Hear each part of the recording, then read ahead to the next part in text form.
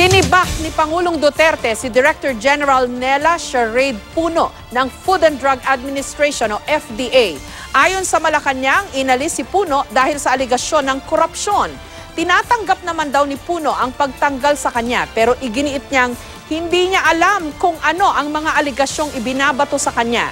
Ni hindi raw siya sinampahan ng reklamo at hindi rin niya alam kung may opisyal na investigasyong ginawa kaugnay sa Dimanoy kinasangkutan niyang korupsyon.